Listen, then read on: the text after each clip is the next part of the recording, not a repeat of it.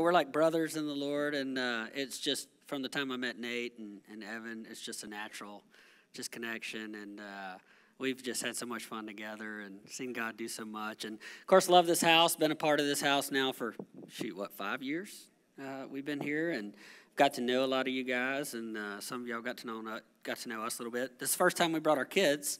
We don't have our littles, so Joshua and Mercy are our younger kids, but we wanted to. They they kind of take over every environment they're in, so we figured we'd bring our older ones and do a quality time. We've been in Oklahoma spending some quality time with the girls hunting, and uh, girls do hunt too. Any girls in here hunt? Come on, come on. Girls are better at hunting actually. They pay attention more. I'm like, deer come out like shoot it. They're like, ah, I'm gonna wait on another one. I was like, what's wrong with you? You know, guys jerk the trigger, girls squeeze the trigger.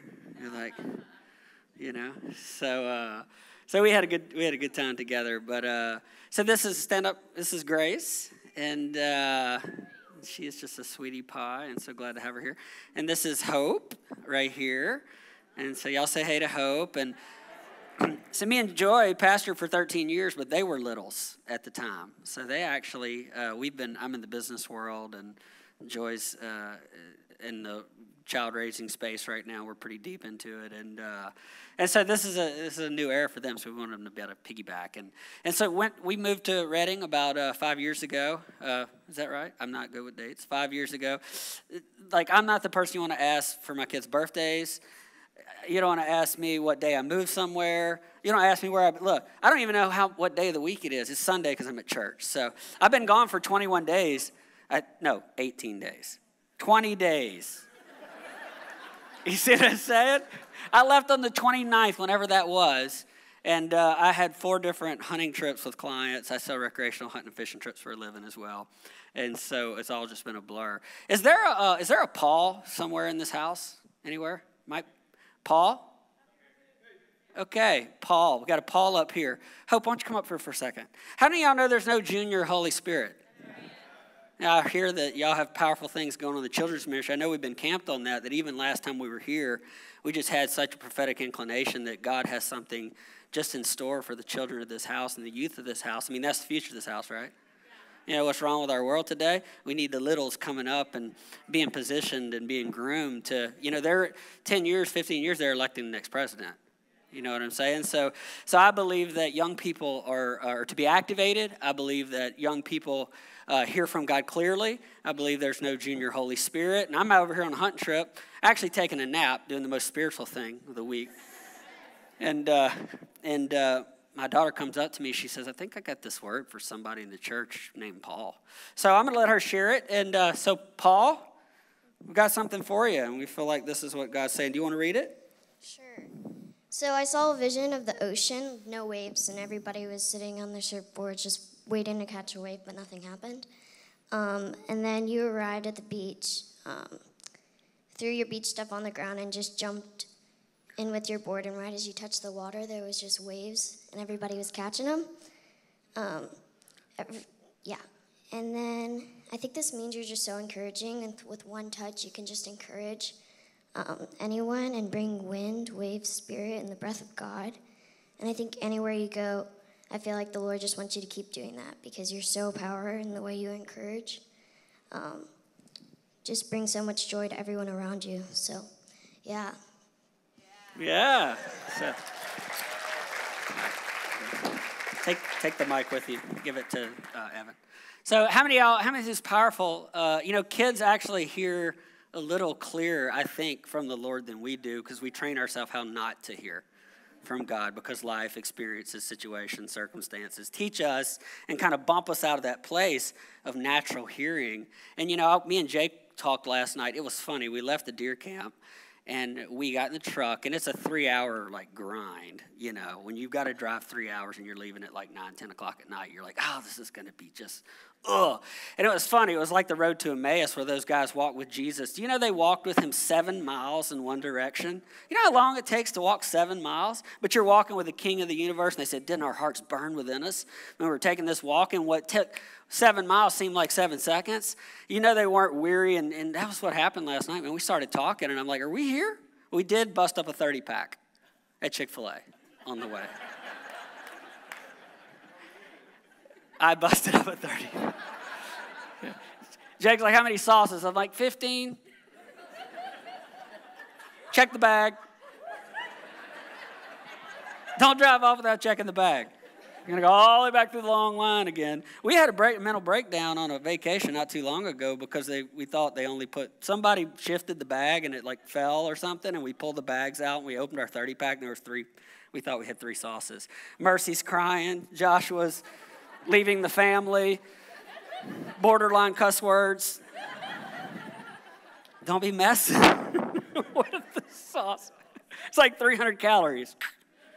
So good, though. It's so good. So, uh, but no, we uh, we just had a time. Just you know that that when uh, when the Holy Spirit shows up in the circumstances or situations, things can happen really fast. Things that can seem like they take a long time can go really quick. And when we camped, we, we started talking about the day of Pentecost. And today I'm talking about wind. I was in Casper, Wyoming here about a week and a half ago. And Casper's one of the windiest cities in the, the United States. And so I'm trying to prepare, and the wind keeps blowing my Bible off the table. And I'd get situated again. The wind would, you know, come in and wreck all my papers, and they go flying through the river. And then I'd grab it and come back. Actually, I took a break from the wind to escape the wind, and I was like, I'm going to shoot my bow for a second and then I'll, I'll get back to studying. I have a picture of that. Can you put that on the screen real quick? You wondered why I gave you the bow. so I didn't bring, I'm not bringing that ice chest home. I'm donating that one to Casper. So I learned there are some things you don't do when the wind is not favorable.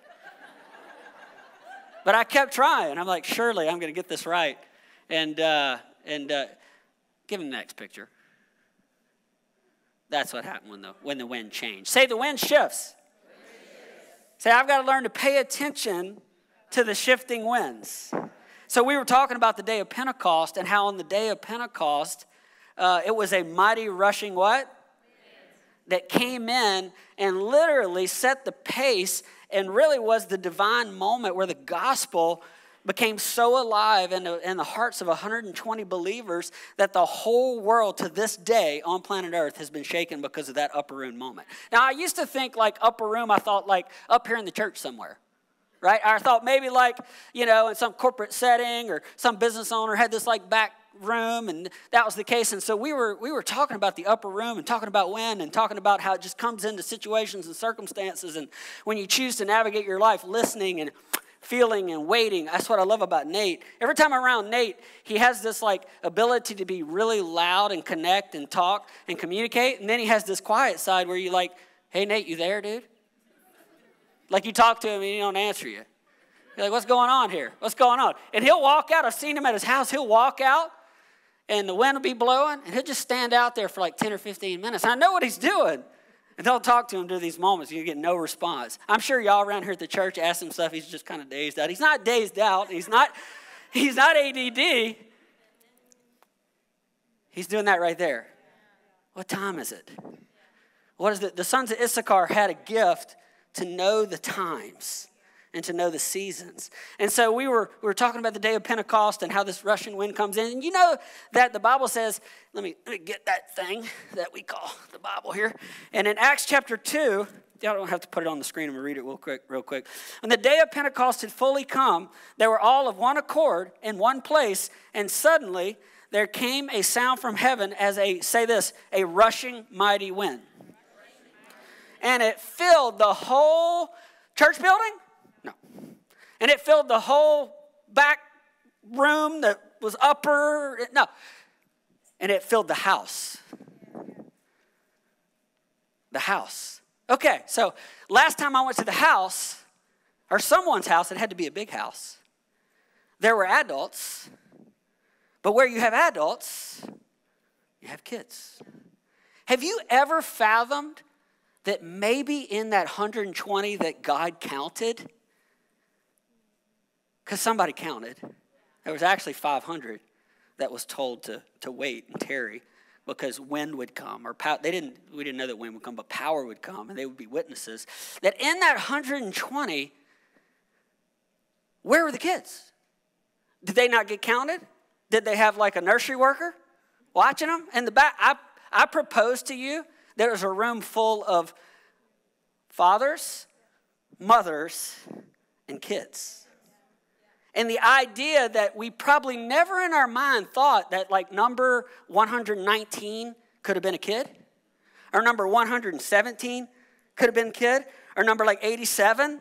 We just think 120 like warrior adults. That must have been what happened that day, and that's why we're here today. Right? I, I have to propose, and they had lots of kids back then, that if you had 120 people, then I bet like 50 of them were kids. And let's be honest, in your pictures of the day of Pentecost, in your pictures of this massive move of God, have you ever seen it that way? I hadn't either till last night. And I'm shifting my, my word a little bit uh, because I just, God's landing on this. That the idea that, stand up, girls, stand up, everybody under 16. So if there's 500 people or however many people, that you have to know that, that the future of the gospel for all of mankind didn't land in the, hand, in the laps of 120 people. It landed in the laps of a large group of women, children, and kids. All right, you can sit down. So that's just like a side note, and I think maybe we'll camp on that tonight. But I believe that God wants houses to be, that, that, the, that the, the wind of the Holy Ghost is for homes. And when you can affect a home, then you can affect the city. When you can affect a city, you can affect a whole community. And so, somebody say, Mighty Rushing Wind. And another funny story about wind is uh, Nate it's like my favorite story. So we have this kind of like fishing um, competition thing that we always, you know, do. We're, we're both competitive. And, and so we were actually, last time we were here, we had a 100 fish, you know, competition. I think he caught 102 and I caught like 100, but he had home field advantage. And I caught a seven pounder and like a four pounder. His were all like fingerlings. But, but he came to, I said, look, just come on up to NorCal, okay? Come on up to NorCal. I got my own lake. We go out there. And so, uh, and so what I didn't tell him is you got to watch the wind on this lake because you can uh, get blown to the other end and then you spend your whole day trying to get back. It's about a 60 acre lake, and if you get out there and the wind takes you, you're done. Like your whole, it'll take you three hours to get back because you're paddling against the wind. You ever feel like that in life sometimes? You're like, I am trying to get from here to there, and it, it I just can't seem to get any ground. Like, wind can do that, right? It's kind of like shooting your bow in the wind. So, wind is meant to be this element that we can't, you know, remember when Jesus talks about the wind? It's all throughout the Word of God. It's fascinating to me how much wind is in the Bible. But Jesus sits down with Nicodemus, and Nicodemus is a calculated guy. He's a theologian, kind of like him. He's a really good fisherman. So at that day, he kind of had his plan. But even though we have our plans, and even though Nicodemus was calculated, Jesus just messed up all of his theology and messed up all of his world in this one simple statement. He said, this, The kingdom of God is like the wind. He's like, You can't control it. He's like, actually, let's see what he says. Let's go to the Word of God on it. So, um, John 3, chapter, John chapter 3, verse 5 through 8. Let's see here. Are you okay? Let's see.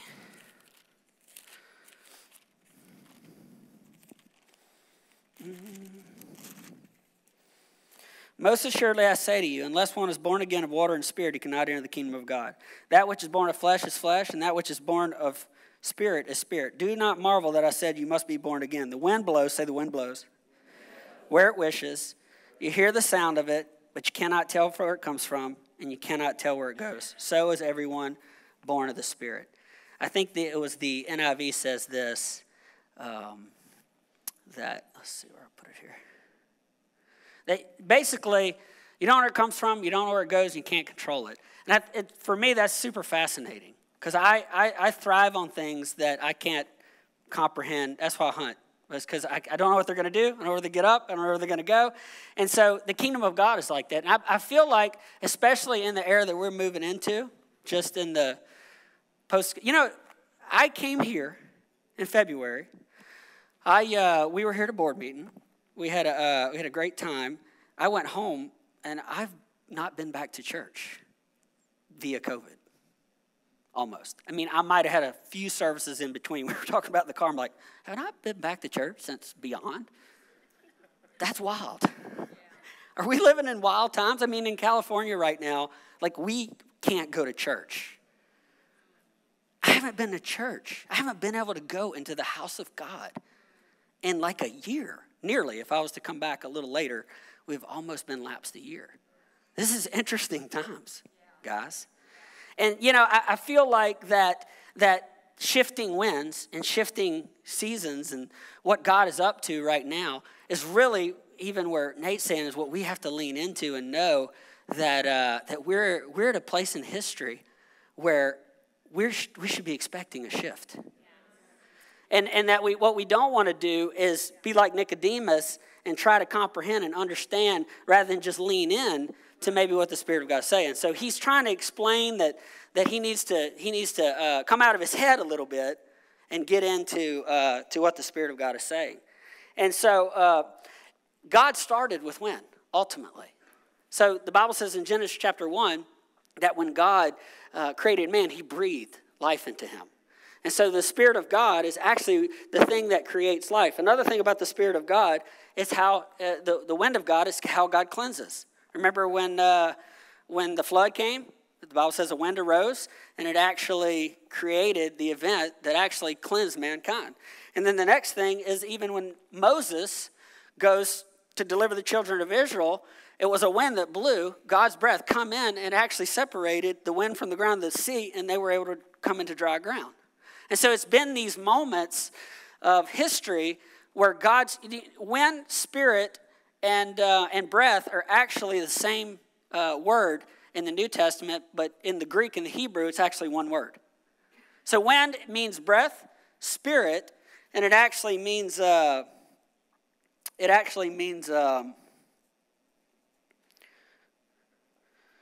it actually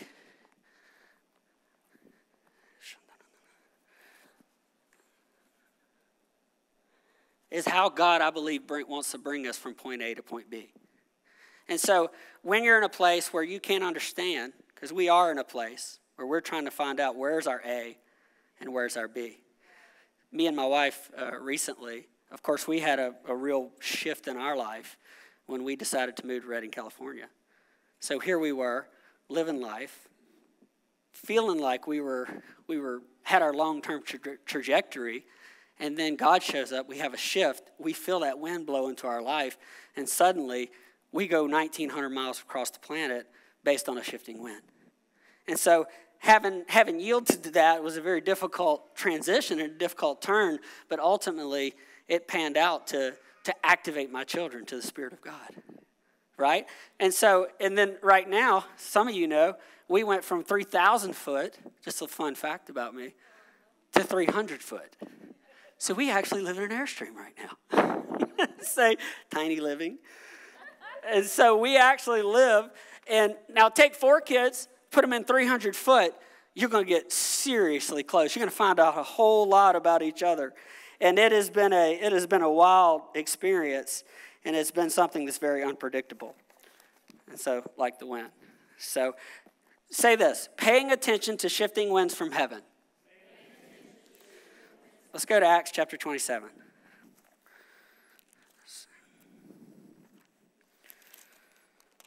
And when it was decided that we should sail to Italy, they delivered Paul and some of the other prisoners, one named Julius, a centurion in an Augustine regiment. So, entering a ship at, I don't know how to pronounce that, we put to sea, meaning to sail along the coast of Asia, in Macedonia and Thessalonica. The next day we landed at Sidon, and Julius treated Paul kindly and gave him the liberty to go to friends and receive care. When he had put to sea from there, he sailed to the shelter of Cyprus because the winds, say the winds, were contrary. And so basically, I'll sum this up. So, Paul, at this point, is a prisoner. I was riding with a guy here recently the other day, and uh, so he has, I think, six spas. And uh, that, that's not good in the COVID world. So, let's say, uh, I don't know, how many months, oh, remember, I'm not good with time, hit, his business suddenly comes to a screeching halt. He can't take people in. And then he's processing and struggling with like no financial income, right? And so I don't know where you're at today. I don't know what you're facing today. Uh, but here Paul is in a similar situation because when we think of Paul the Apostle, sometimes we just think like Superman, hero, 13 books of the New Testament, powerful guy. But in this point in Paul's life, he's a prisoner. And he's a prisoner that has no authority at this point, but yet knows who he is. And so, even though he's in a point where he's kind of probably feeling stuck, feeling like I don't know how to get from point A to point B, yet the winds of God are blowing beneath the surface. And so, I think that sometimes when we feel like our, traje- our trajectory has been kind of grounded, and sometimes when we feel like our point A to our point B doesn't really have clarity, God is still at work beneath the surface. And that was, that's what this story kind of illustrates. So here's Paul, a prisoner. Okay, you get knocked off your horse, you get filled with the Spirit of God. You're like the super apostle. You, you've got this, you know, uh, amazing ministry. You, you're bringing the gospel to the Gentiles. Suddenly you find yourself bringing the word of God to Caesar, and then it all comes to a screeching halt, and you're a prisoner. That kind of looks real similar to what you could even comprehend the, what's going on in the church world today. You guys are like having church, nobody's wearing masks, all that kind of stuff. But let me just acclimate you globally. In California, we haven't been to church.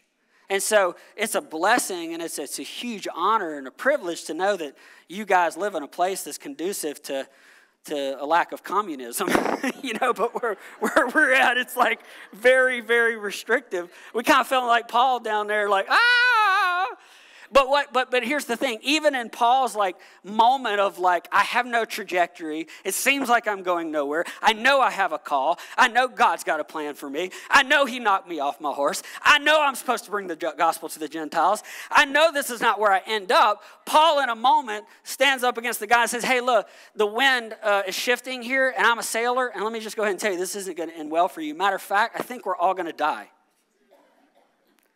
He releases a word to a secular guy and says, hey, if you don't alter the situation or the direction that we're going via politics, via the world, via disease, via your whole thing, because this isn't Paul's thing, this is their thing. Like, hey, you're going to kill yourself and you're going to kill all of us. I'm just going to let you know that's what's fixing to go down. And so they, in their carnal way of thinking and their you know strategic planning, come across this south wind, and they say, oh, this is a favorable wind.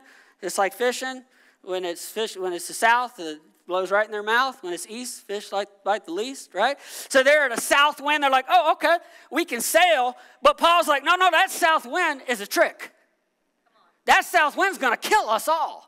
And so, even though there are natural things in this planet that are, uh, that are driving businesses, that are driving marriages, that are driving politics, that are driving everything that makes the world go round, there are the Pauls of this time, there are the young people of this time who are coming up that say, wait, wait, wait, wait, wait, there's another wind blowing. Wait, wait, wait, wait. I sense something else coming from the from the vault of heaven. Remember, we talked about spiritual IQ. And no, something, something that Joseph that says, wait, wait, wait, wait, wait, there's a famine coming. Or that Moses that says, wait, wait, wait, wait, wait. Don't buck against God on this thing. Because you'll end up with a beat up ice chest, right?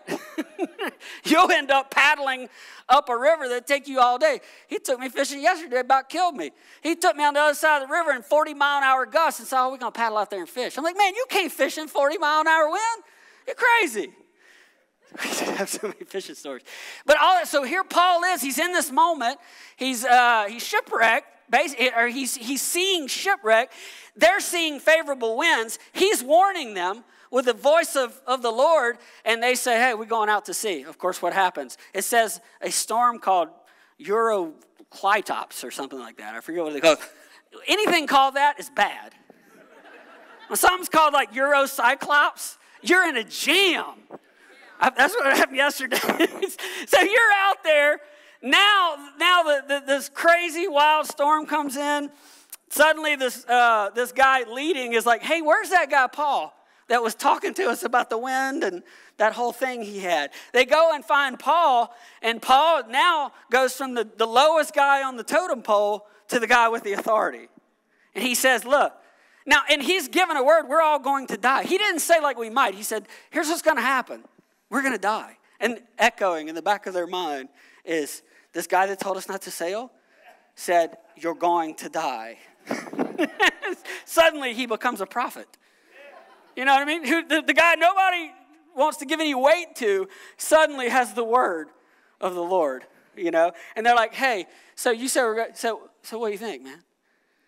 And he says, look, let me seek the Lord on this thing. And then because the Lord has a plan to get the gospel somewhere, he says, they're going to live because I have a plan to go somewhere. And in the midst of we're all going to die, suddenly the gospel is interstreamed in this crisis and in this wild situation because God is at the foundation of it all. He is not the causer of it all, but He's the solution to it all. So I, I, I propose that Paul didn't prophesy death. Paul stated the obvious have God, have, had God not intervened. And I believe that we're, we're such in a similar place right now where maybe the, the, uh, the, the crew isn't seeking out the authoritative voice that sees what God is saying, but ultimately, down there in the doldrums, down there in the back pocket, is the word of the Lord. And I think as we navigate our course through here, you'll see that the gospel will be the solution for this whole situation. Right? So, what turns out to all, so what sometimes seems to be a very conflicting, difficult, I don't understand where I'm at, I can't make sense of my situation has to do with the exponential in God's plan for our life. You may say, man, i am I'm like Paul because my marriage seems like, like it's not moving forward. It seems like it's going to end. It seems like it's, it's, it's, there's no way out of this, but at the end of the day, God has a solution for that situation. Or maybe your business right now, you feel. So, what I'm trying to encourage you by saying, no matter where you're at, you're not a prisoner shipwreck with a death sentence and the most powerful man of God that maybe ever walked the planet, that was his scenario. So if we become doomsday people right now in a place where, where God's projecting hope, where God does have a way out, where God does have a word, then, and again, like speaking in the context of where I live, it's a little different. It's a little more extreme. We have some wild leadership where I come from. So I can speak out of this firsthand because, like, we can't do nothing. Thank God I got a business that is able to, to continue to flourish and thrive and, and is even doing better. But my buddy over here, nobody can come to his business. So that's when things get real.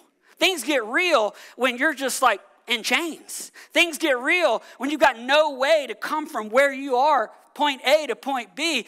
Right now, you may say, well, that ain't affecting me, but think about put yourself in their shoes. Put yourself in Paul's shoes. Put yourself in the guy who owns a movie theater shoes. Put yourself in the guy who maybe has a gym right now in their shoes.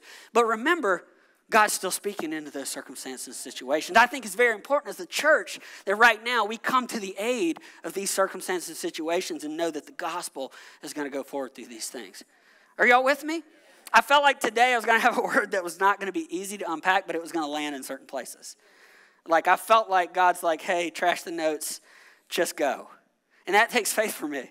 Because like I could come up here and get a real calculated thing and do something like nice and sweet and make sure everybody kind of grabs something and goes home. But that's I, I, I'm willing to risk my, I, almost bombed there a second ago because I'm willing to risk to be able to lay into what God is saying in the presence of God and for something to connect with somebody in such a way that it could change their life forever. I'm not signed up for polished preaching. I'm not signed up for pretty sermons. I'm signed up for life changing transactions. I'm signed up for suddenlies. I'm signed up for mighty rushing winds. I'm, that's what the world needs right now. They don't need polished Christianity. They don't need life coaching. They don't need ABCDs. They need the Spirit of God. They need the power of God. And that's what we are to the world today. And I'm telling you, there's something on this church that God, and look, I tangled. I was like, man, I'm going safe. I'm going safe. But, I, but we've got to venture away from safe. And we got to come and say, no, I'm not trying to blend in. I'm not trying to be a pretty church. I'm not trying to have it all together. I'm not trying to be polished. I want the power of God. I want the word that was able to go into the king's palace and say, God's going to save you, and he's going to save you because I'm with you and He's going to save you because He's got a plan. It's not about you. You, you. You're doomed, matter of fact, but because God is here, because I am here, because we are here, then the whole voyage will be saved. Where will we go? We will be saved because we are here and God is here. And that's our destiny. Right? But you got to be willing to take risk. You got to be willing to place yourself in that place of risk and, and allow those winds to bump you out of place and bump you out of your comfort zone and bump you out of what's normal and nice.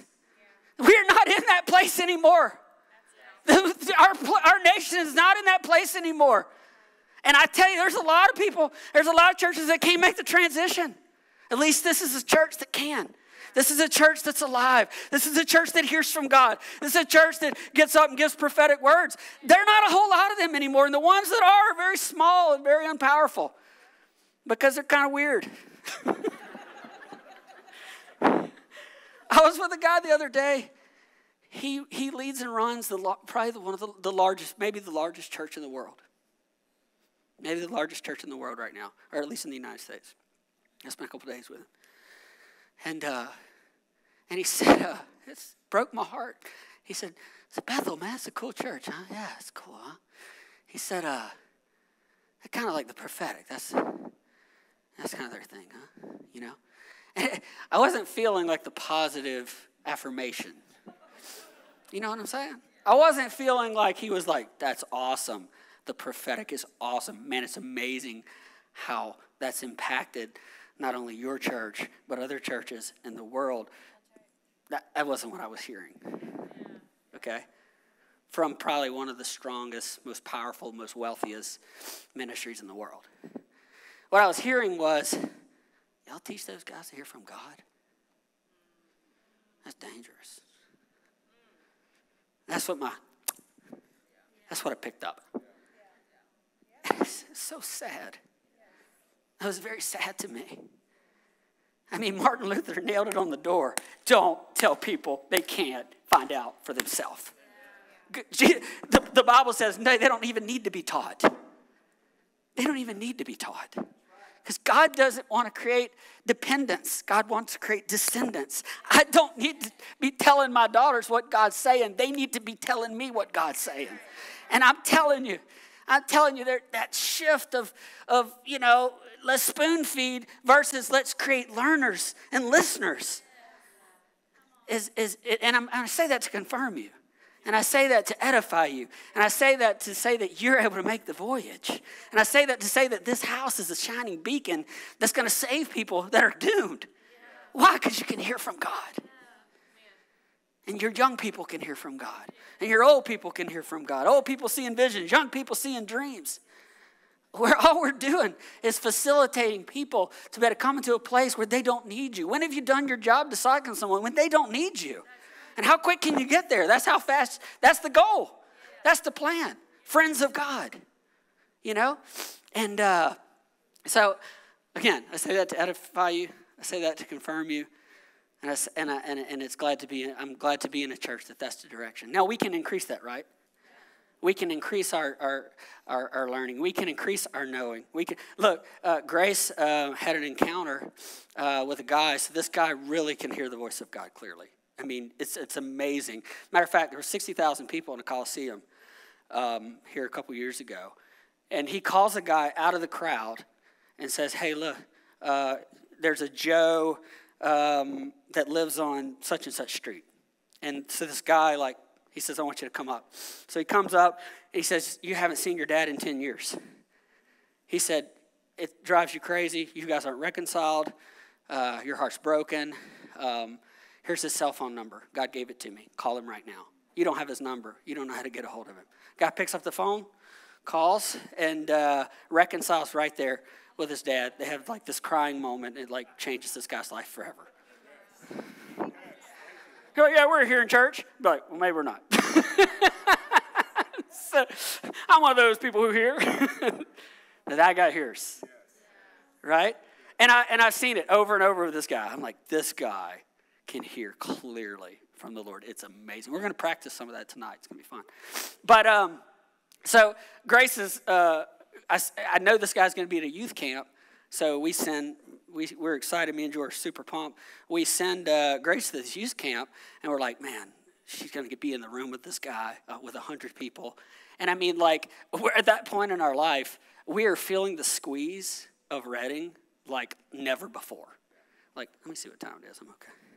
Okay, I gotta close. We're feeling like the ultimate squeeze of like our transition. Because when you make decisions and the wind shifts and you get out there and you transition, uh, so it's not all roses, right? But it's rewarding, right? So here we are, we're in the squeeze.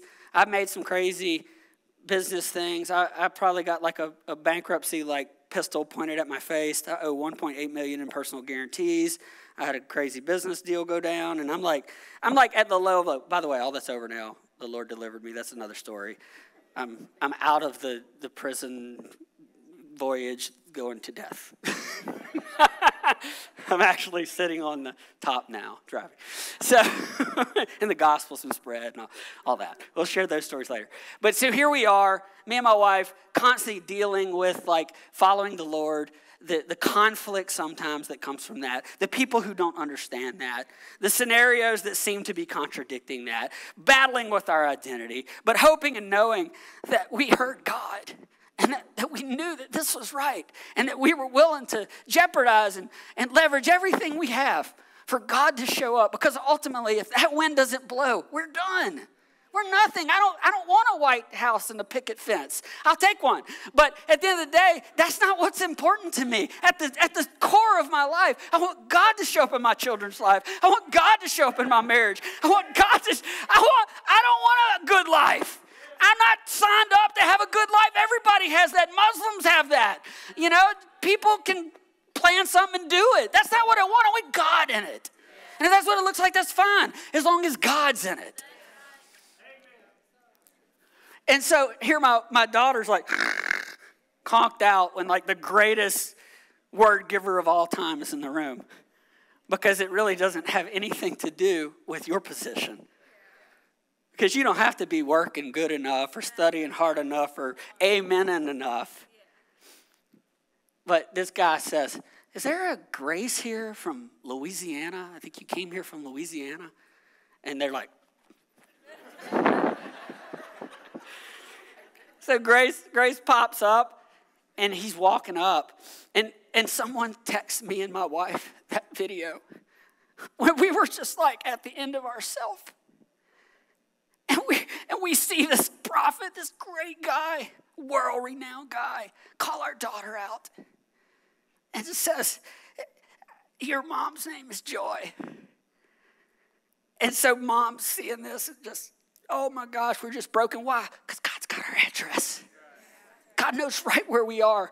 And I would trade millions of dollars and influence and prestige and power and influence. I'd give all that up for my daughter to encounter God.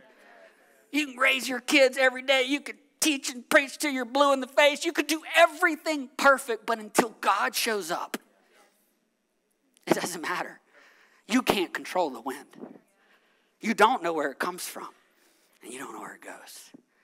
And so we have this moment. He said, uh, so he calls her out, calls my wife's name out, calls out my brother's name, prophesies over my brother, says, You got a you got grandparents named Mike and Kay? Calls them out. Says, Is your mom name Olivia? Her middle name Olivia? I'm telling you like like 13 things, like nobody knows. And this guy's like, bam, bam, bam, bam, bam. Why? Because God's like, that's how good I know you. And that's the anointing, that's the call, and that's the listening ear that God wants to release in this house. And you need to practice that.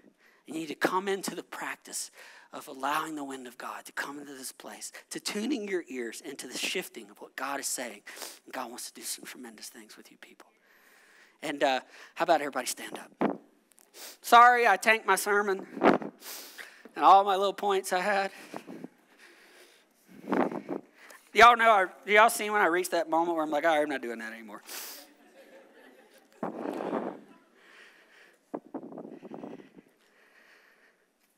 When I was uh, 20 years old, my parents had done everything on God's green earth to have a Christian son, to be raised in a Christian family, to connect with God.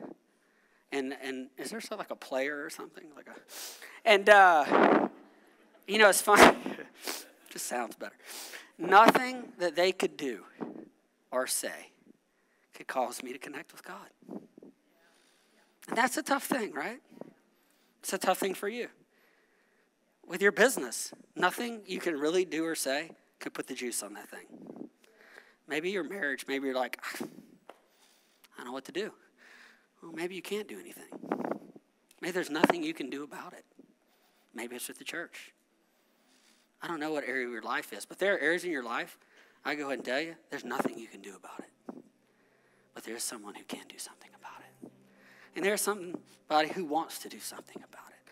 And just like God encountered my, my little girls, I mean, one of them gave a word this morning for Paul, and the other one had an awesome encounter with God, and they've been activated spiritually, and they're, they're going to prophesy tonight. It's going to be awesome. But that's the intangible that you need to go after. That's what time it is in this house to go after the intangible, to go after that that's not seen, but's heard and felt. That that's heard and felt. And that's what society needs right now. Not what's seen, what's heard and felt. And that's what came into my life and undone me at 20 years old. That's what undone me uh, a couple years later when I made transitions in my life. That's what's undone me to bring me into all the shifting places in my life. And some of you, you say, hey, uh, I feel like I got the wind knocked out of me. There's no wind in me. And I've been through those seasons in life where it's like, I got no wind. I got bones here, but I got no wind. And I need wind in my life. And I just want you today to make a big old funnel. And so I want to talk to two people today. One is the person that, just like me, just like my daughter, you might not be prepared for it when you came to church today, but suddenly there's a, there's a breeze blowing in your life, and you can't deny it.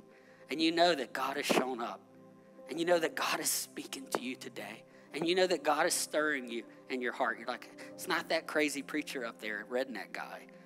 It's not what he said, but there's something going on in my heart right now. There's something in my insides that are churning and touching and working. Like those boys that walk with Jesus on the road to Emmaus, that their hearts were burning. And if that's who you are today, I want to give you an opportunity to say yes to God, to say yes to, uh, to His leading and His guiding and His plan for your life. So if you're here today and that's who you are, just bow your head and say, Lord, I invite you into my heart. Maybe you've been ignoring God. Just let that go. Say, hey, Lord, I'm sorry. I'm sorry that I haven't, uh, that, that, that I've sinned, Lord. Sorry that I haven't, I haven't uh, lived my life the way that you would like me to, but I just surrender to your win right now and I receive it. The idea that you feel God today is a gift because you can't create the wind, you can only receive it. And you're like a sailboat that now that you accept the Lord, God can send you and God can push you into uh, great places. And then the other person here today that maybe you've got the wind knocked out of you. Maybe it was a bad marriage, maybe it was bad business, maybe just COVID is kicking your butt. Maybe you were a school teacher. May, who knows? There's a whole lot of things going on that may have caused you to have the wind come out of your sails or to knock the wind out of you and you just you just feel dry and you just you need the wind of God back in your life. If that's who you are today and you just need a touch from God, just raise your hand today. Let's see your hands, hands all over the room. And Father, right now, I just ask, God, that that mighty rushing wind like came on Pentecost, Lord, that you would touch him with it today, God. That they've honored, they've honored you, Lord. They've acknowledged you in a reckless, undignified way, just to say, I need wind. And I pray that you allow the wind of the Spirit to flow into their life right now. We thank you for that, Lord. We thank you, Lord, that you do the things that only you can do, God. We, we honor you. We bless your name. In Jesus' mighty name. All right. All right. Well, tonight, I think you put it on the screen. Um, we're going to talk about. Um, how you like that? How I did that with Google? Is that pretty cool?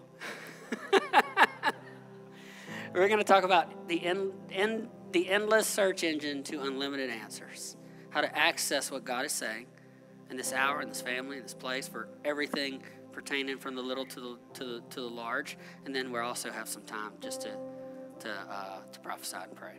And so, look forward to having you guys. Love you. Thanks for putting up with me. and uh, have a blessed day. So, 6.30 tonight. So.